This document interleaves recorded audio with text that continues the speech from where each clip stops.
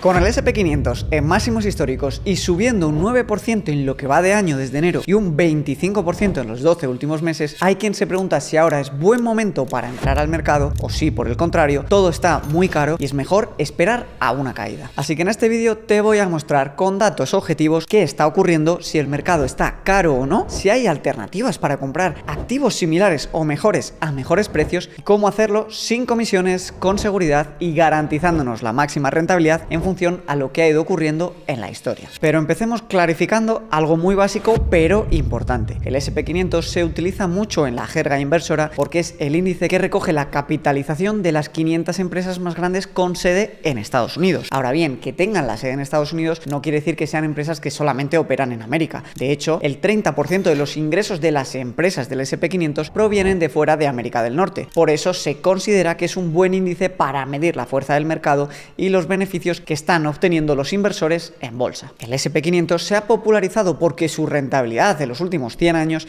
ha sido del 9,8% de media anual. Si a esto le descontamos la inflación que hemos vivido, más o menos nos deja una rentabilidad del 7% anual compuesta. Esta rentabilidad, que igual te parece poco, quiere decir que si tienes un salario de 2.000 euros e inviertes un 20% de tu sueldo mes a mes en un índice así y obtienes, pues desde que empiezas a trabajar a los 30 años hasta los 65, este 7% compuesto, acumularías 724.000 euros, de los cuales tú solamente hubieras ahorrado 168.000 y el resto sería revalorización del dinero invertido. Sumado a su rentabilidad, hay que añadir que se puede invertir a este tipo de índices por 10 euros al mes y sin apenas comisiones. Las comisiones en este tipo de fondos suelen ser en torno al 0,1% del dinero invertido que tienes anualmente. Algo ridículo cuando lo comparas con el resto de fondos de gestión activa profesionales. Ahora bien, el miedo de muchas de las personas que se empiezan a lanzar a invertir en este momento no es tanto qué ha pasado históricamente con las rentabilidades del SP500, sino qué rentabilidad van a tener ellas ahora que empiezan a invertir en un periodo de máximos históricos. Pues bien, eso es lo que precisamente vamos a ver ahora. En la mayoría de periódicos y redes sociales, cuando alguien te dice si un índice o una acción está cara o está barata, se suelen referir al término PER en español, Price to Earning Ratio o PE simplemente. Este ratio, básicamente, por explicártelo de manera sencilla, relaciona la cantidad de beneficios de una empresa con su valor en bolsa. Por ponerte una analogía con un piso, quiere decir que si tú compras un piso de 100.000 euros y te genera 10.000 euros de beneficios al año, su PI o su PER sería 10. Necesitarías 10 años de los beneficios para justificar el valor de esa vivienda. Pues lo mismo con las empresas. El consenso en la mayoría de medios de comunicación y creadores de contenido es que cuanto más alto es el PER de una acción o de un índice, peor entre comillas momento es para comprarlo, porque estás pagando mucho más por esa empresa de lo que quizá en otro momento pues estaba disponible. Si atendemos a la media histórica del PI según JP Morgan ajustado a la estimación por ganancias de las distintas empresas en el SP500, vemos que la media en los últimos 30 años es de un 16,65, es decir, 16,65 años necesitarías en beneficios para justificar el valor de una empresa. Vemos que actualmente efectivamente el PE ratio de las empresas del SP500 está algo por encima de esta media histórica. Concretamente, ahora mismo está en 19,82. Si nuestro análisis se limitase a ver cómo está el PER de las acciones del SP500, podríamos decir que en relación a la media histórica está un poquito por encima. Ahora bien, sería muy corto de miras quedarnos solamente con este dato. Así que vamos a poner un poquito esto en contexto y vamos a ver otros datos fundamentales para ver si realmente debemos o no empezar a invertir en este índice. Pues bien, en esta otra imagen de aquí, lo que vemos es en función del PER de las empresas, cuál ha sido la media de retornos obtenidos en el mercado y cuál es la media de retornos que se prevén que se pueda obtener obtener. Vemos, especialmente en el cuadrante de la derecha, que es el más relevante, que en la predicción a 5 años el puntito rojo sigue mostrando signos de rentabilidades positivas a futuro pese al PER actual. Si el PER actual se disparase muchísimo más, si se encareciese muchísimo más el mercado, sí que vemos que los retornos medios ya tienden a esa línea que está cercana al cero o incluso a negativo. Pero es curioso ver que si nos vamos a PERS más bajos, a PERS como 14, 15, 16 o 17, también vemos que históricamente comprando acciones con ese PER también se hubieran obtenido retornos negativos o cercanos al cero en periodos de 5 años. Por tanto, no parece tampoco demasiado relevante relevante esto del PER a la hora de poder prever retornos ni a uno ni a cinco años. Y es que, de hecho, si vemos este otro gráfico de aquí que muestra la evolución del SP500 en cuanto a su valor y en cuanto al PER, vemos que si bien es cierto que en la burbuja tecnológica de los 2000, donde se dispararon las empresas que no eran rentables, el PER sí que se disparó hasta 25 veces. En 2007, antes de la gran crisis financiera y antes de la corrección del 47% en bolsa, el PER era mucho más bajo que el actual, era de 15,7 veces por año. Todos estos datos nos hacen coger un poquito con pinzas lo que es el PER para decidir si es buen momento o no para entrar y para ver si merece la pena invertir. Por eso me gusta poner en contexto otro tipo de datos, como es este. En esta gráfica podemos ver cómo ha ido subiendo el margen de beneficio de las empresas. Básicamente en este gráfico lo que podemos hacernos a una idea es ver cuántas ventas necesita una empresa para generar beneficios y vemos que cada vez necesita vender menos para generar más beneficios. Esto, entre otras cosas, es porque la productividad por empleado se ha disparado gracias a la tecnología.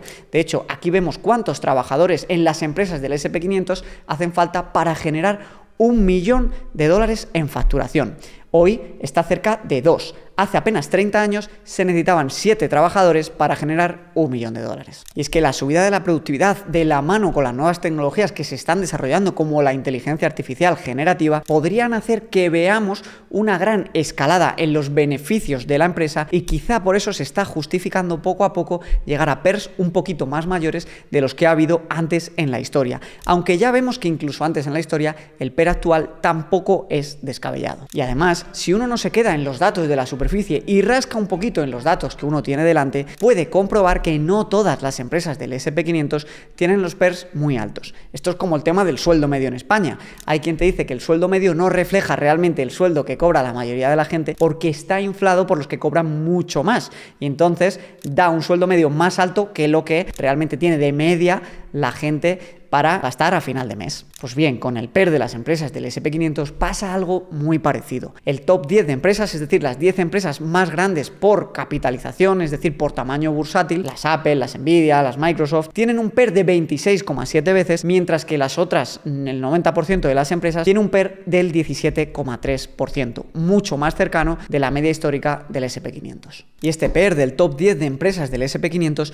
no es descabellado viendo lo que ha pasado en otros momentos y más aún si lo ajustamos a la contribución de beneficios de las empresas del top 10 del SP500 respecto al total del índice. Microsoft, Apple, Nvidia, Amazon, Alphabet, Meta y Tesla son lo que se conocen como las siete magníficas del SP500. Y es que estas siete empresas, como podemos ver en esta gráfica, en las barritas verdes, están contribuyendo a la mayoría de crecimiento de beneficio de las empresas. Y por eso los inversores están dispuestos a pagar más dinero por estas empresas. Personalmente a mí no me preocupa demasiado y creo que esto se acabará ajustando y habrá otras empresas que simplemente vayan quitando peso al top 10 actual. Pero si eres de los que quiere invertir con PERS más bajos, hoy te traigo una propuesta alternativa de inversión.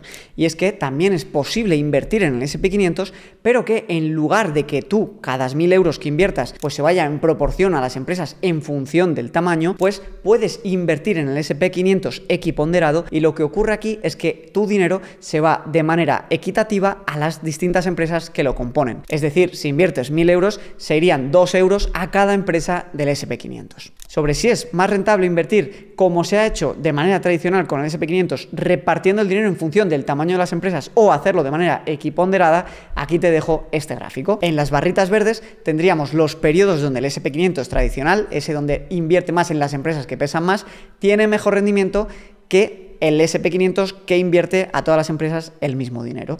La realidad es que históricamente, en los últimos 20 años, apenas ha habido diferencias entre invertir en un índice o invertir en el otro. Y de hecho, lo que dicen los estudios es que el Sharp Ratio del SP500 tradicional es un pelín mejor. Es decir, que obtienes el mismo rendimiento, pero asumiendo un poquito menos de riesgo. Si te interesa tener más datos sobre el SP500 equiponderado que invierte por igual a todas las empresas, te dejo abajo el link para poder echar un vistazo al fondo y la plataforma para poder invertir en él. Ahora Bien, teniendo en cuenta que el PER no debe ser en ningún caso el único indicador a la hora de decidir si invertimos o no, he de mostrarte este otro dato de aquí. Este dato nos muestra en Estados Unidos cómo de fuerte está el consumo de una manera un poco indirecta, porque nos lo hace mostrando qué porcentaje de los ingresos de las familias se va destinado al pago de la deuda. Y vemos que prácticamente está en mínimos de los últimos 40 años. Si este dato lo ponemos en contexto con esta otra gráfica donde vemos el ahorro generado que tienen las familias, podemos deducir que el consumo va a seguir fuerte. Y si el consumo va a seguir fuerte, quiere decir que las empresas van a seguir aumentando su ritmo de beneficios. Esta gráfica del consumo lo que muestra es que en la época de pandemia se disparó la tasa de ahorro, porque como estábamos encerrados en las casas y no podíamos consumir, ahora todavía las familias siguen teniendo un exceso de ahorros que van canalizando poco a poco a través del ahorro y de la inversión. Y esto además lo ponemos en un contexto donde la inmensa mayoría de países del mundo desarrollado y emergente están con máximos de empleos históricos y las tasas de desempleo están más o menos en mínimos en la mayoría de países, no hay ninguna razón macroeconómica para pensar que a corto plazo las empresas puedan decaer su ritmo de ingresos. Ahora bien, lo realmente importante y lo que a mí me gusta hacer en este canal es concienciar de que lo importante no es especular a ver si mañana va a subir o va a bajar el precio de una acción, porque el mercado es irracional y a corto plazo es imposible predecirlo. Lo que sí sabemos es que históricamente la media de rendimiento después de la inflación ha sido de este 7%. Y yo soy mucho más fan de empezar a construir una posición con DCA, dólar cost averaging, es decir, empezando a invertir poquito a poco e ir invirtiendo todos los meses un porcentaje del sueldo que no quedarse fuera esperando una corrección o una subida o una bajada. Y es que además todos los datos están del lado del inversor ahorrador que invierte a largo plazo a través del dollar cost averaging. Aquí tenemos este estudio buenísimo de JP Morgan donde analizaron desde 1988 hasta ahora que era más rentable, si invertir en momentos en el que el mercado estaba en máximos históricos o hacerlo cualquier otro día en función de cómo estaba el mercado. Lo que salió de este estudio es que vista dos y tres años era mucho mucho más rentable invertir incluso en máximos históricos. Y es que al final el mercado, por cómo está diseñado y por cómo funciona la impresión masiva de dinero y los beneficios de las empresas, lo normal es que poco a poco vaya estando de manera constante marcando nuevos máximos históricos. Y esto por sí solo no debería ser un motivo para frenarnos a invertir. No obstante, para los que os gusta seguir con esto del análisis un poquito más fundamental y ver qué ha pasado en otros momentos del mercado en situaciones actuales, vemos aquí este gráfico donde podemos ver qué pasó después de la última subida de tipos de la Fed. La Fed ya ha anunciado que con total seguridad la subida de tipos que vimos fue la última y podemos ver que el mercado actual, que es el que está en rojo, que lleva un 10% de beneficios desde la última subida de tipos de la Fed, pues aún le puede quedar mucho recorrido como ha pasado en la mayoría de mercados alcistas después de la última subida de tipos de la Fed. Y con esto en absoluto no quiero decir que no vamos a ver posibles correcciones o que el precio no puede temporalmente estar por debajo de lo que está ahora. De hecho, aquí tienes una gráfica de los últimos 50 años en los que vemos la subida final o bajada final del SP500 año a año y el punto más bajo anual. Vemos que, por ejemplo, en años como en el 2023 el SP500 subió un 24%, pero hubo momentos en los que corrigió más de un 10%. O incluso en años como en el 2020 el SP500 subió un 16%, pero llegó a corregir más de un 34% dentro del año. Al final, si te asusta que esté en máximos históricos, llevas una muy mala mentalidad. Es que quiero enseñarte este gráfico de aquí. Aquí vemos el número de máximos históricos por década. En esta década, que llevamos ya más o menos la mitad consumida, llevamos 104. En la década de los 2010 hubo 240 en la de los 90 310, en la de los 80 189 y en la de los 60 218. No hay ningún motivo para creer que el SP500 no pueda seguir marcando máximos históricos en los próximos 5 y 10 años. Personalmente sigo haciendo dólar cost averaging mes a mes y ampliando mi posición en los fondos indexados. Aquí tienes una captura de la rentabilidad que llevo en mi fondo indexado al SP500 desde 2020. Como ves, llevo una rentabilidad de más del 67% y te aseguro que en plena pandemia había muchísimos motivos para no lanzarse a invertir si hacías caso a los headlines y los titulares negativos. Pero al final, al inversor que mejor le va es al que es capaz de abstraerse de todas las noticias y simplemente mes a mes ir comprando e invirtiendo y aumentando su posición en fondos indexados. Puedes invertir en fondos indexados de Vanguard, de eShares o de Fidelity desde MyInvestor sin comisiones añadidas y te dejo abajo el enlace para que puedas echar un vistazo a este fondo,